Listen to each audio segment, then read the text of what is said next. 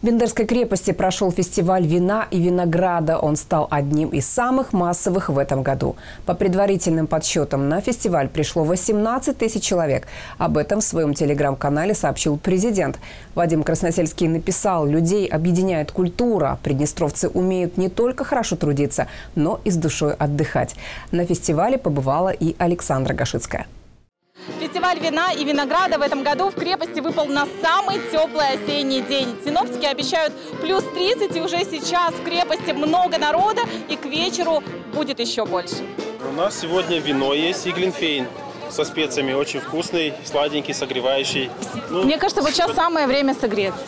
Да, да, сегодня хорошая погода. Все, кто приходит сегодня на фестиваль, попадают на винную аллею из Ворул Винулы, и это совсем не та винная дорожка, про которую пишут в сводках МВД. Сегодня у этой винной аллеи совсем другой смысл.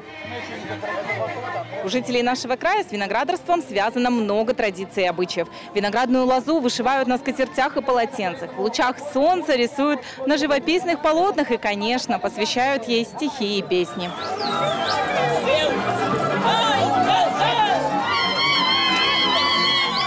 Лидирующие страны производители вина в мире, такие как Франция, Италия, Испания, с алкоголизмом ни у кого не ассоциируются. Хотя французы, например, достаточно много пьют. Почему так происходит? Да потому что в этих странах очень развита винная культура. Наш край тоже славится своим вином. И такие фестивали, как этот, должны продвигать правильное отношение к вину и виноделию. В принципе, у нас эта культура достаточно развита. Не зря же один из брендов страны – это Квинт. Сколько надо выпить вина, чтобы было в меру хорошо? Это от настроения, это от компании, это от общения. Вы понимаете, бывает так, что два стакана это уже много, а бывает два литра это хорошо. Если от настроения, то вот сегодня сколько нужно выпить? Я думаю, что я сегодня э, выпью столько, что я озвучивать не буду. Спасибо. Настолько мне приятно и интересно вот это вот общение, компания, обстановка, атмосфера. Просто великолепно. Дай Бог здравия, да сми здравия!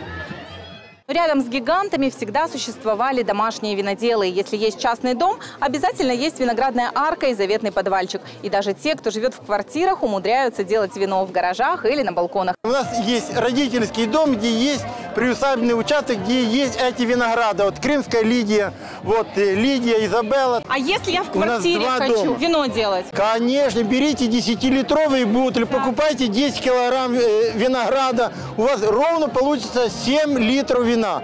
И вы сдавите, оно перебродит, подымется и будете пить себе вино. Это все закусочка. Это все потому что везде вино, и у нас вино. Красивое подворье, вкусное вино, э, плывет такой запах, э, э, запах осени, жизни и радости, и мира на земле.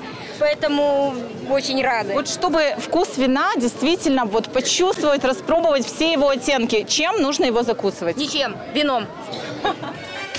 В середине дня на стоянке у крепости уже негде было припарковаться. Это означает, что кто-то уедет с фестиваля вина точно трезвым. ГАИ предупреждает, что выпившим за руль садиться нельзя, но и Минздрав тоже напоминает, чрезмерное употребление алкоголя вредит вашему здоровью. Александра Гашицкая, Игорь Мацота, ТСВ.